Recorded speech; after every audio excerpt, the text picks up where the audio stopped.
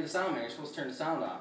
I went off on him. Like I didn't let him get another word in. I was like, dude, screw you, blah blah blah blah blah. You're this, you're that. What are you doing accusing me? I figured one thing, went off on him, and then hung up on him. I wasn't even mad when he called.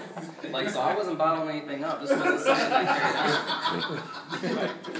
And I, I, you know, five minutes later, I'm thinking, dude how is Mike feeling right now? And he texts me, he's like, you are tripping, dude. you just went off on me for no reason.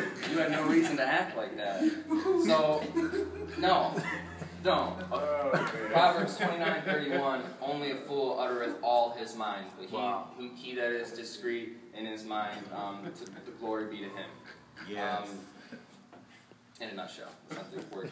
Um, so if I can't bottle it up and I can't let it all out, you're being really contradicting right now, God and Logan or whoever's talking. What uh, what do you? How am I supposed to handle my anger? I can't bottle it up. I can't let it out. Then what? What we do and what we need to do is think like Jesus and learn to pick our battles.